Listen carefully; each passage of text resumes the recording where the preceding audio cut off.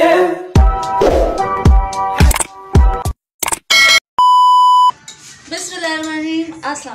back to channel this is Rajput ji कैसे हैं आप लोग? उम्मीद है सब खैरियत से होंगे। अल्हम्दुलिल्लाह, मैं भी खैरियत से हूँ। अल्लाह पाक आप सब लोगों को सलामत रखे, खुश रखे, आबाद रखे। इसी दुआ के साथ आज का ब्लॉग स्टार्ट करते हैं। चले जी दोस्तों, मैं हूँ किचन में। अभी मज़ा आएगा ना शाम का वक्त है तो सोचा चाय पिए जाए। चाय थोड़ा हट के बनाएँगे। अदरक वाली चाय बनाएँगे, इलायची डालेंगे उसमें और कैरमल करेंगे चीनी को। तो चले बनाते हैं। दो कप मैंने पानी दिया फ़िलहाल मैं एक कप डालूँगी इसमें। और चूल्हा तो मैंने जलाया नहीं। जला लेते हैं।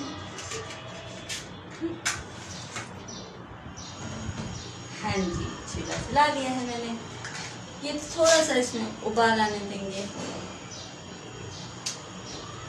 चीनी हम कैरमल करेंगे पैन में। पैन ले लेते हैं इसको वॉश कर लेंगे।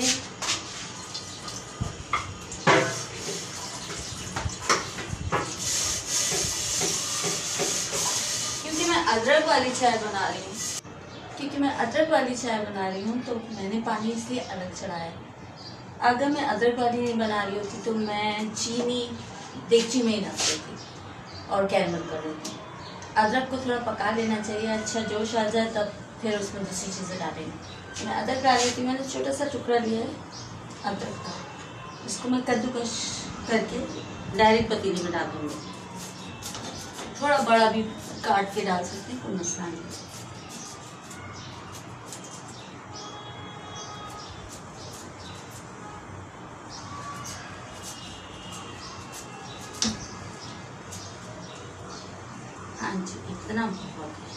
मैं दो कप चाय बना रही हूँ इतना काफ़ी एक तरफ़ मैंने दूसरा पैन ले लिया, उसमें मैं कैरमल बनाऊँगी।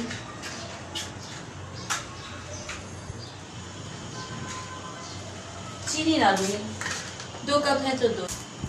अदरक काफ़ी हद तक बॉयल आ गया। उसमें तो मैं इसमें ये दो इलायची थोड़े से हाथ से तोड़ के और इसमें शामिल कर दूँगी। ज़ोर ज़ोर से बोल के लोगों को स्कीमें बता दे।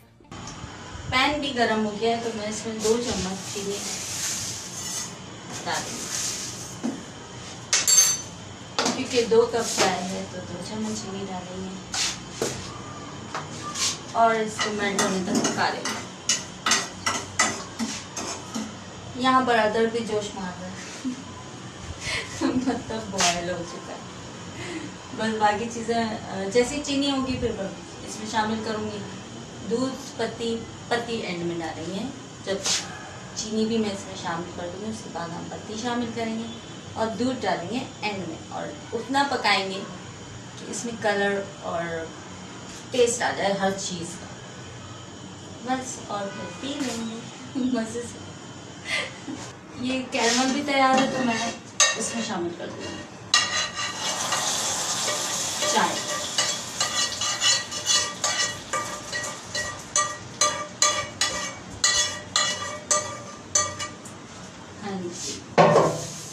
ये चूल्हा बंद कर देंगे उसकी ज़रूरत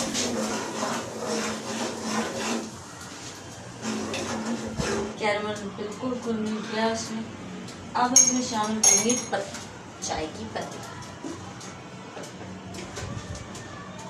एक, दो और ये तीन।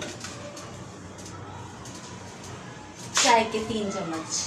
मैंने डाल दिए क्योंकि दो कप चाय है। अच्छी स्ट्रॉन्ग बनाएँगे।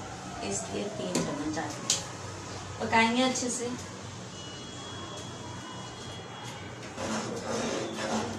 चाय का पकना बहुत ज़रूरी है। कच्ची चाय बिल्कुल अच्छी नहीं लगती। अब मैं दूध करूँगी। दूध में ये सूखा खुश्क दूध ले इसके तकरीबन तीन चम्मच डालूँगी।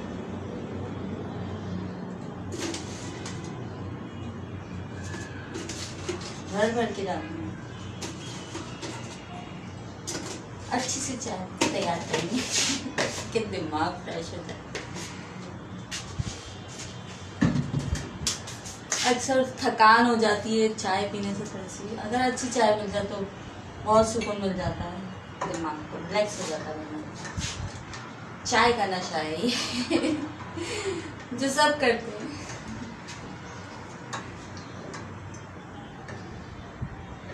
अच्छी तरह घोल लूँगी मैं इसको। सारा वरना इसकी अजीब गुटलियाँ मुँह में आ रही होती हैं। हाँ जी तो ये दूध अच्छे से मिक्स हो गया। है मैं इस पतीली में शामिल कर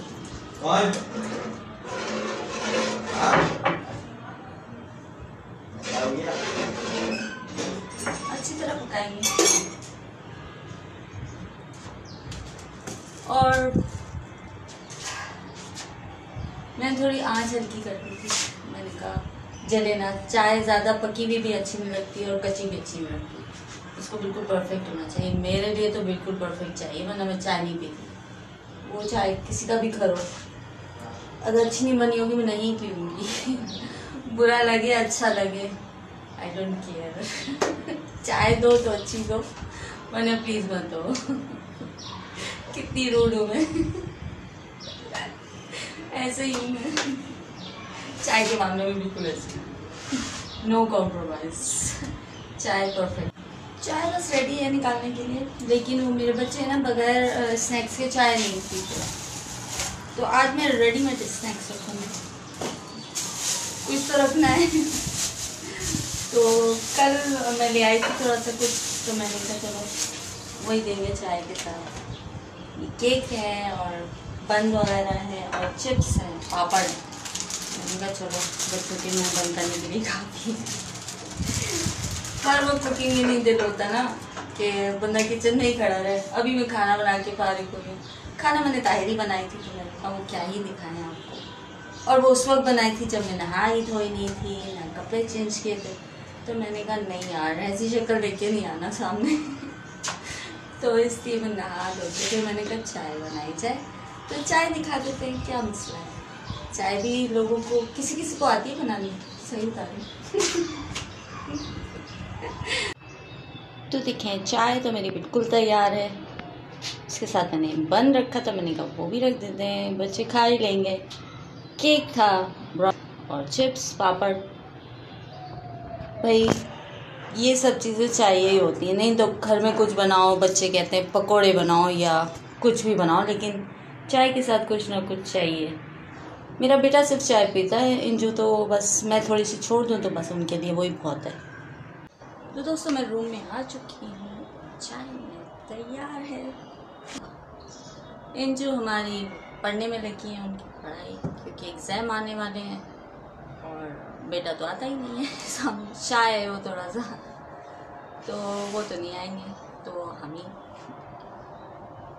आप आ जाएँ आप लोग आए ज्वाइन करें ना, नाश्ता खाएँ हमारे साथ शाम के टाइम और चाय पिए। परिया राजपूत के स्टाइल में। परिया राजपूत के अंदाज में। हाँ जी, बहुत मज़ेदार बनी है। और अदरक वाली चाय का मूड हो रहा था। इलायची अदरक वाली चाय का तो मैंने कहा, चलो बनाया जाए। मुझे तो स्पेशली चाय वैसे बहुत पसंद है। अदरक वाली हो, बगैर अदरक की हो, बस अच्छी बनी हो। कितना बोल रही हूँ मैं इस बारे में? बुरा मत मानिएगा दोस्तों, देखिए भाई चाय पाए तो पी ली चाय भी पीना अपनी जगह। लेकिन जो ये बर्तन उनको भी तो धोना ज़रूरी है।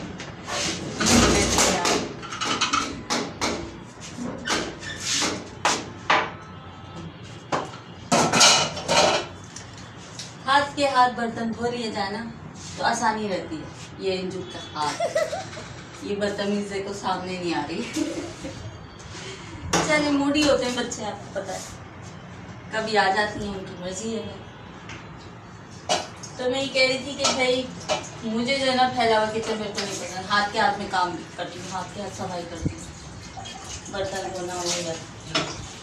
और चाय के बर्तन तो वैसे भी फटाफट खंगाल ही लो तो बहुत इतना मसला नहीं होता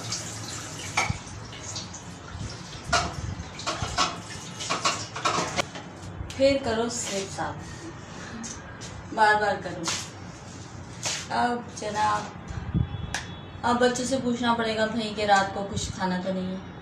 क्योंकि गैस जाने वाली फिर नहीं बोलना मुझसे कि क्या पकाएगा क्या नहीं पकेगा क्योंकि रात में लेट तक तो जागते हैं सब। आजकल का तो रूटीन हो गया कि रात में लेट तो होता ही है। और फिर कुछ ना कुछ खाने का मूड होता है।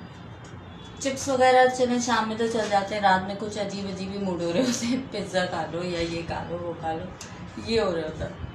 तो हर वक्त तो बाहर से नहीं मंगाया जाता ना। मेरे घर में तो बहुत कम बाहर से चीज़ें आती हैं। मैं खुद ही घर में बनाती हूँ, जो भी हो।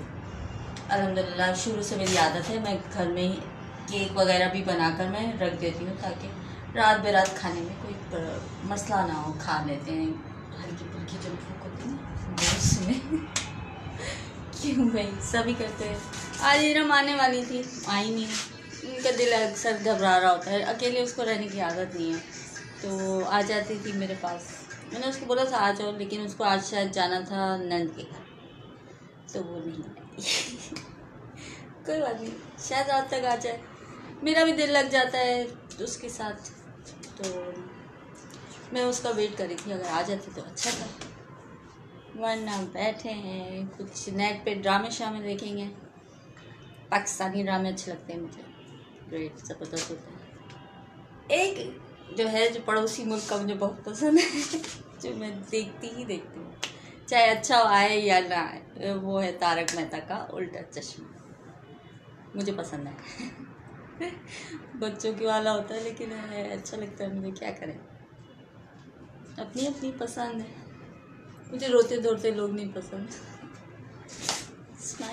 जी दोस्तों, आज का व्लॉग बस यहीं तक। सब्सक्राइब करें सपोर्ट करें, ज़्यादा से ज़्यादा मेरे चैनल फरिया राजपूत ऑफिशियल को लाइक करें शेयर करें और बेल आइकन को प्रेस करना ना भूलें ताकि आपको मेरी वीडियोस मिलती रहे और हमारा साथ ऐसे ही बना रहे। दुआ में याद रखें। अल्लाह हाफिज।